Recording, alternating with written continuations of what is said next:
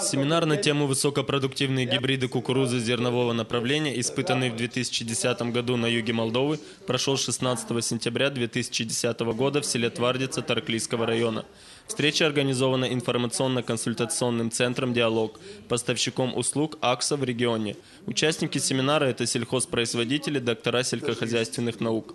В теоретической части программы обсуждались вопросы по увеличению урожая, производился обмен опытом и мнениями. Ценность этого семинара еще и в том, что ровно год назад мы тоже собирались тоже по этой теме. И сейчас будет интересно посмотреть, какие результаты у Павла окажутся. Но в любом случае они окажутся выше, чем в среднем по региону и даже по Молдове. Для демонстрации сравнительных испытаний гибридов кукурузы, методов основной обработки почвы и способов уборки зерна был организован выезд в агрохозяйство «Агропаскал». Каждый сорт покажет, что он дает, какие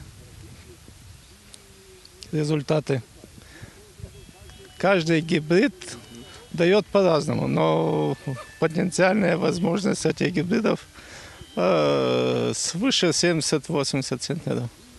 А потолок до 120-140. Руководители хозяйств, участвующие в программе семинара, говорят, что такого рода встречи дают возможность наглядно увидеть, какого качества может быть урожай в результате проведенных агротехнических мероприятий. Мы у друг друга чему-то учимся, вот что-то видим, что-то показываем сами, что-то... Естественно, это, конечно, культура, скажем, кукуруза культура, скажем, наша постоянная, от которой зависит все.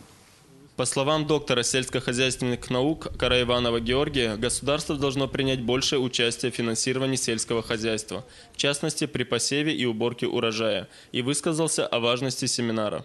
Тут люди общаются, тут люди могут э, дискутировать воочию.